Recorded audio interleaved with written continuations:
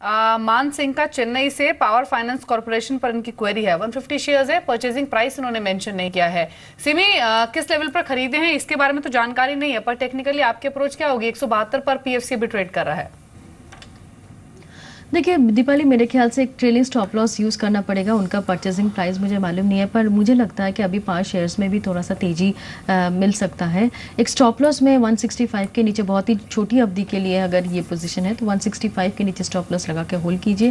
मुझे लगता है कि ये स्टॉक बहुत जल्दी 180 85 का लेवल छू सकता है तो होल्ड करना पड़ेगा।